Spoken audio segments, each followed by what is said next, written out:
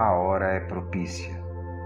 Quero entrar no mundo sem sentir vergonha e quero revelar na presença da Shekhinah os mistérios divinos que ainda não foram revelados, para que ninguém possa dizer que eu não cumpri minha missão na terra, guardando os mistérios em meu coração, e os revelarei a vós.